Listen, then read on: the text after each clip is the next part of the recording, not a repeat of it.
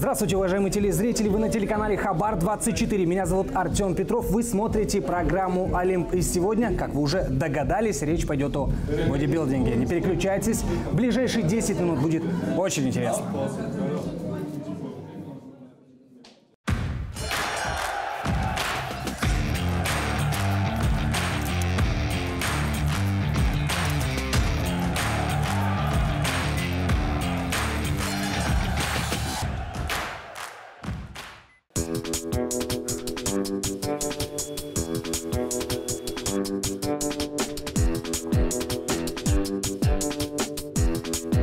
Занятия в фитнес-клубе давно стали для большинства горожан обязательной частью их жизни.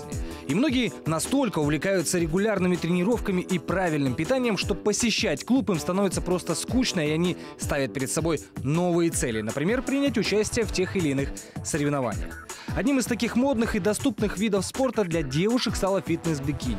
Так что это за спорт и как к нему готовиться? И возможно ли совмещать работу и строительство собственного тела? Итак, для начала немного истории. Фитнес-бикини было официально признано новой спортивной дисциплиной исполнительным советом и Конгрессом Международной Федерации Бодибилдинга только в 2010 году. Полагаю, правильно назвать это конкурсом, так как основными критериями оценки участниц являются все-таки женственность и пропорции, а не спортивная форма и проработанные мышцы.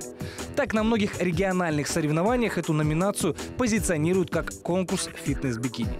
Категория предназначена для женщин с хорошим телосложением, красивыми линиями тела, которые занимаются спортом и соблюдают диету. Во внимание также принимаются детали внешнего вида, привлекательность лица, макияж, прическа, тонус кожи, а также общая презентабельность. Конкурсантки не должны иметь явного мышечного рельефа, большие объемы и мужские черты лица.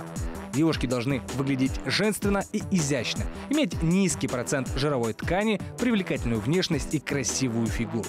Очень важно уметь позировать, правильно показать и преподнести свою форму зрителям и судьям. Есть какая-то генетическая предрасположенность, да. Есть девочки, которые более тонкие, есть девочки, которые более мышечные. И да, если ты приходишь к тренеру, да, к профессионалу и говоришь, вот я хочу на сцену, но я не знаю, вот куда мне пойти, да.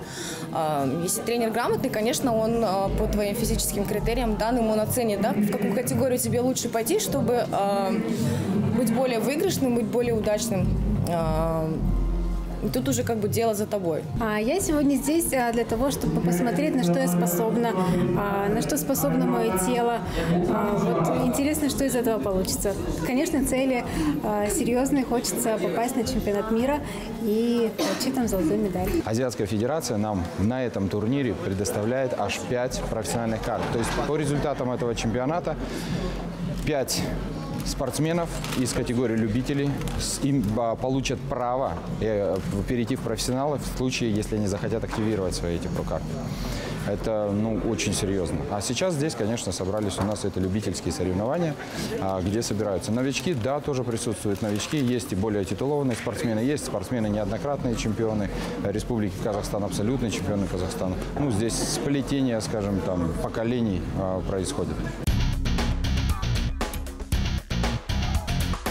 Многим может показаться, что это обычный конкурс красоты, однако это не совсем так. За выдающимися внешними данными стоит огромная работа. Чтобы обрести соревновательную форму, девушки большую часть жизни проводят в спортзале. Хорошо, если работа связана со спортом. Инструкторы, фитнес-тренеры одновременно прокачивают себя и других атлетов.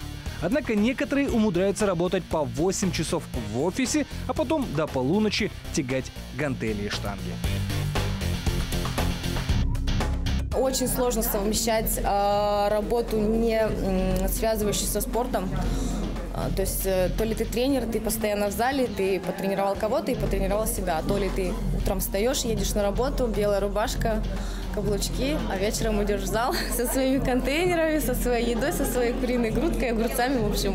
Но сам процесс, он доставляет безумное удовольствие. Этот стресс, он их заряжает. Когда мы приезжали раньше неизвестной страной, когда они не могли слово «Казахстан» произвести правильно, сейчас нас уже знают, встречают, э, ну, кое-где, можно сказать, в каких-то категориях нас уже побаиваются, потому что мы стали серьезными конкурентами. Ну, плюс у нас уже есть такие достижения, как а, проатлеты, которые перешли а, в IBB Elite Pro, а, которые участвуют там.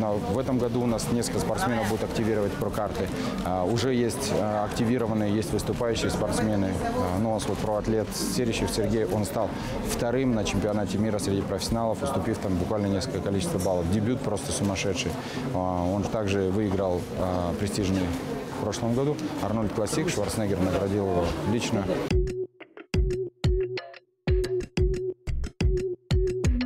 Если говорить о соревновательном моменте, здесь тоже не все так просто. Правила четко регламентированы. Даже купальнику и внешнему виду спортсменок есть свои требования. Бикини, например, должно быть непрозрачным и состоять из двух частей. Цвет, ткань, текстура, орнамент и стиль бикини, а также цвет и форма высоких каблуков остаются на усмотрение участницы. Толщина подошвы туфель не больше 1 сантиметра, а высота шпилек может быть максимум 12 сантиметров. Туфли на платформе не допускаются. Стринги тоже строго запрещены. Малейшее нарушение тут же следует дисквалификация.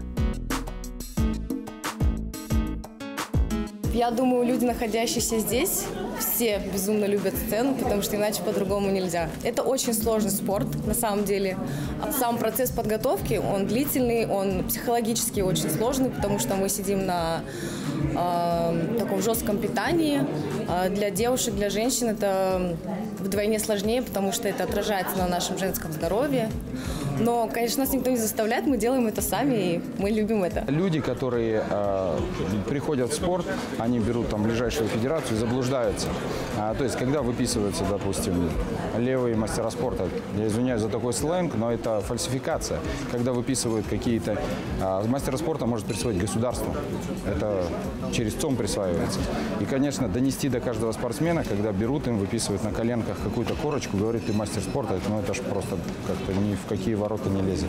А, И получается, людей обманывают просто на самом деле. Ну, плюс еще, естественно, нужно а, сказать о том, что такое аккредитованная федерация. Это та, которая одобрена государством и которая придерживается всех нормативов спорта. Сейчас все больше молодых людей кардинально меняют свой образ жизни вместо ночных клубов и ресторанов проводят свои вечера в тренажерных залах с гантелями и штангой. Благо бюджетных качалок и элитных фитнес-центров сейчас более чем достаточно. Главное помнить, что тренироваться нужно правильно, желательно под руководством квалифицированного наставника. Ну и, конечно, соблюдать режим дня и диету. Только при продуманном подходе к тренировкам вы будете не только быстро прогрессировать, но и обезопасите себя от травм и других неприятностей. Случайно попала в лет, наверное, в 31 раз я пришла в спорт, ну, чтобы как бы быть моложе, стараться к этому стремиться. Мне сейчас уже 37, занимаюсь вот спортом и работаю тренером.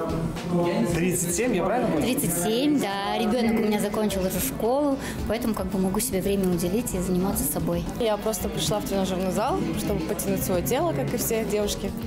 А, и насмотревшись на своего тренера, как она выступает, тоже загорелась, захотела поучаствовать, попробовать. И вот я уже какой сезон в этом виде спорта. Бодибилдинг э, очень молодой спорт относительно всех других видов спорта. Что касается конкретно Республики Казахстан, то здесь бодибилдинг, да, в какой-то определенный момент он набрал пиковое, потом шла смена поколений.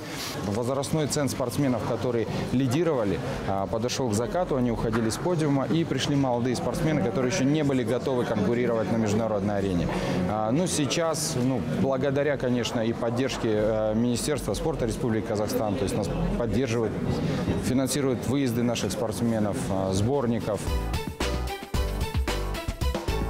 Девушки часто боятся больших мышц. Номинация «Фитнес-бикини» дает возможность быть спортивной моделью, красивой и пропорциональной. Впрочем, некоторые до сих пор считают, что и это направление фитнес-бикини тоже перебор. Мол, добиться такой фигуры можно только с помощью специальных препаратов и даже хирургического вмешательства. Но это не так. Конечно, в большинстве своем чемпионки фитнес-бикини – это генетически одаренные девушки. Однако добиться заметных результатов могут все желающие, причем практически в любом возрасте. Главное, чтобы желание не трансформировалось в зависимость. Все должно быть в меру. С красотой тоже можно перестараться.